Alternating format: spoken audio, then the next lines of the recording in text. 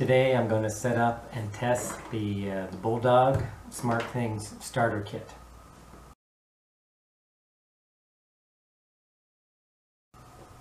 Hello, I'm Blake, a professional innovator and designer in pursuit of the invisible smart home. Water leak alert. The starter kit includes three or more Zigbee leak sensors,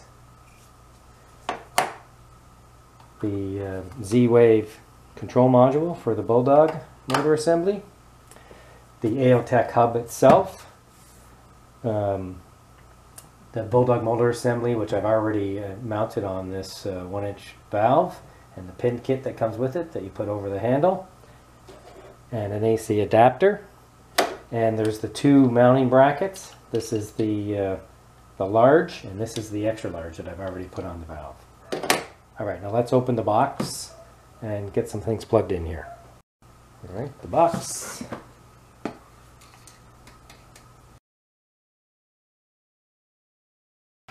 Power adapter for the hub and Ethernet connection for the hub.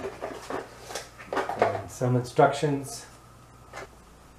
All right, let's plug a few things in here. So this is plugged into the uh, AC adapter that comes with the Aeotec hub, which is a 5 volt adapter I'm going to plug that in.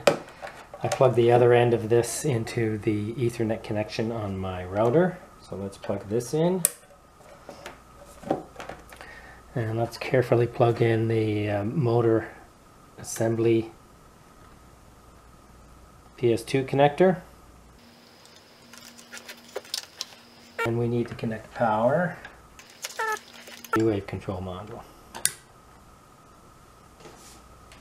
Alright, just for the heck of it, let's see if this works.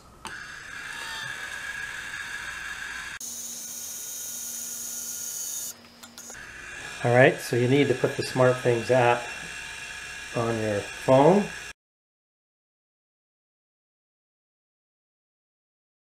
If you don't already have it. I already have it. And I'm going to go ahead through the process of plus and how do we add a hub here? Let's take a look here. So let's go to the hubs, manage locations, and we want to add a new hub. Let's go ahead and give it a name.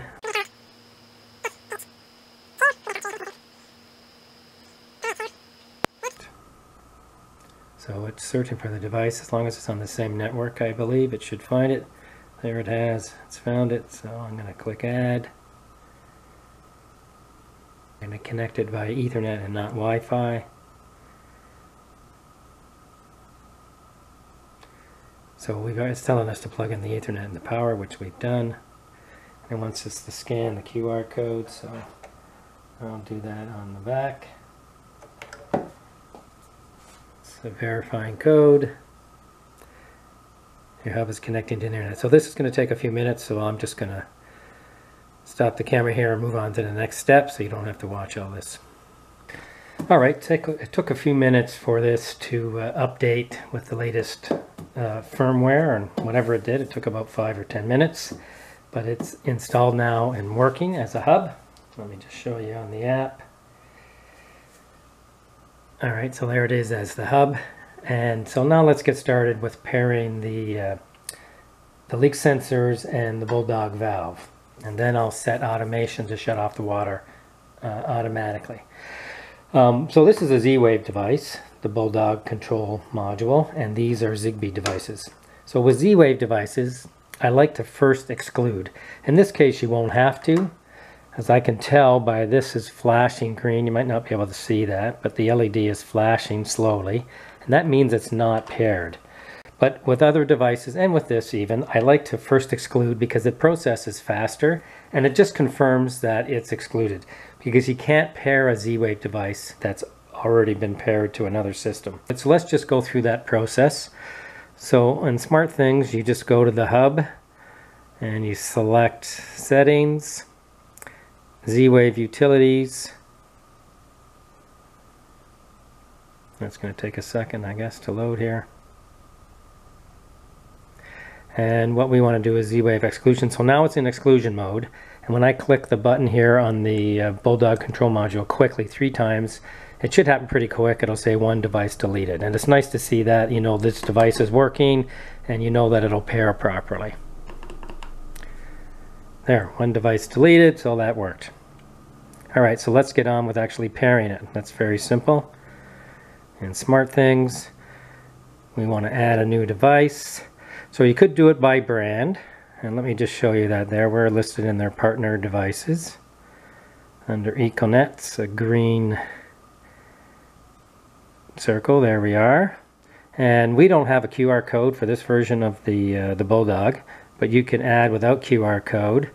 And now it's just looking for it. But I'm not going to do it this way. I'm going to go back and just do um, a scan for nearby devices. That's how I mostly do it for Z-Wave and ZigBee devices. I'm going to push this button quickly three times. Actually four times, doesn't matter, three or four. So it's going to take a little bit longer to pair. Alright, so you can ignore the security rating. Bulldog is completely secure. And there it is, it found it. And we'll just leave it as that for now, the name.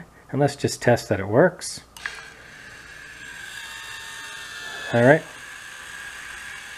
So that seems to be working fine. And I'll just let it finish its stroke and then I'll open it back up.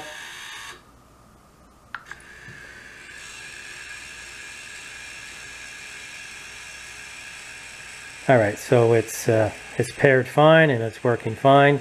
Now let's add the leak sensors. We don't have the same issue with ZigBee devices. These are ZigBee leak sensors and they don't have the same uh, quirk as uh, the Z-Wave devices are easy to remove and add and there's really no confusion there. And the way these work to put them in pairing mode is that the whole thing is really a button. You just squeeze it and that puts it into pairing mode and you won't be maybe you won't be able to see it but there'll be a blue light there. Alright, so you simply hold the button down until it starts blinking. And then you let go and then it'll pair and here it is. Leak sensor. Done. This is what it looks like. So let's just test it on a wet paper towel. Get an alert and it says wet.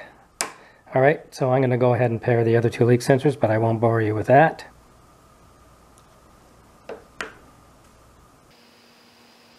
Done. Hold it down until it blinks and let go.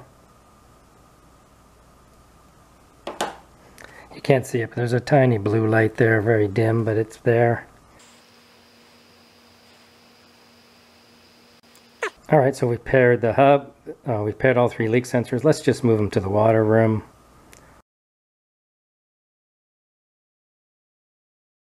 So let's go to the uh, water room. All right, so we've got the, uh, the Bulldog and the three leak sensors in the same room called water.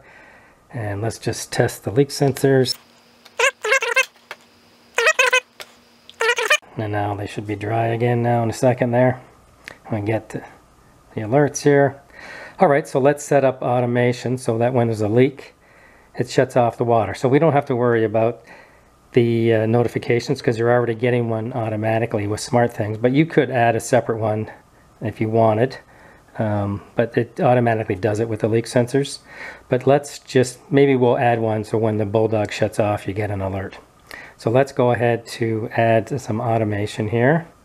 Routines, add, routine and I'm going to pick the leak sensors.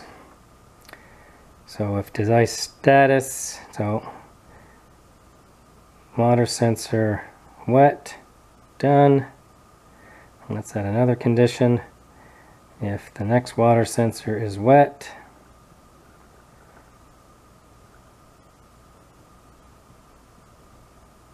wet done.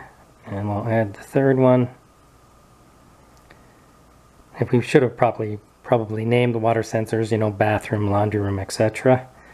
But just for the sake of this demonstration, that's okay the way we have it.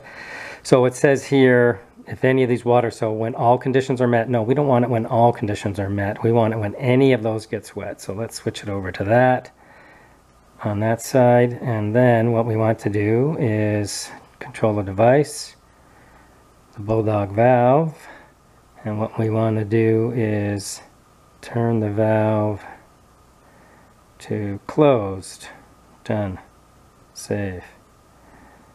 And we can pick an icon for it. I'm not sure what would be appropriate, but there's lots of icons there for that routine. All right, so let's go look at the routine so that you can see it. But you see it has a little house shape with a check mark beside it. That means it runs locally, so if we unplug the internet, it's still going to run, and maybe I'll test that in a minute. But let's just go ahead and get one of these sensors wet and see if it shuts off the valve. Okay, so there's the valve, there's the three sensors. The, um, the water is moving and not the leak sensor, but the leak sensor's there. Turns off the water, we get a notification and you can see here that it's in a alert mode. And it'll do that with any of the uh, sensors. Let's turn the water back on. This is dry now. Should show dry in a minute. Yep. And let's just test it with one more sensor.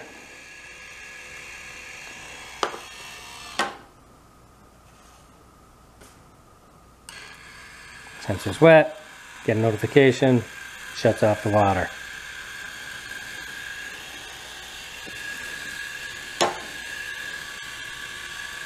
And, uh, there's no plumbing required. I'm not going to show you how to install this. We've covered that in a lots of videos.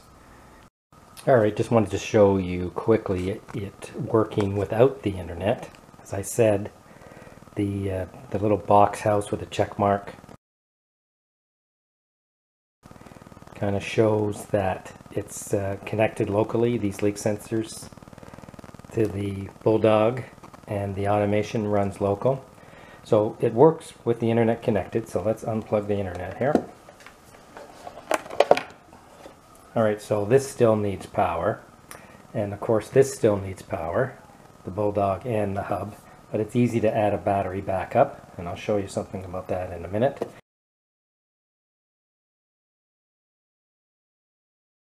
Alright, so imagine the um, leak sensor is moving and not the water.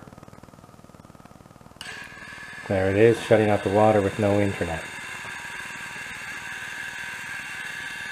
And you can see it's showing the uh, Bulldog is offline now. And that's it. Now that you have your system up and running, um, you can add more leak sensors. It doesn't have to be the uh, ZigBee leak sensors, the T1s that we use, although these are great uh, sensors. I like them because of the size and the uh, mechanics. Um, but not just leak sensors. You can add dozens or maybe even hundreds of devices and the SmartThings Hub can be the root of your, uh, your smart home. Anything from uh, automating lights to your security cameras to uh, your security system for your home, garage doors, locks. Give me a thumbs up and uh, subscribe and look for my next video. Cheers.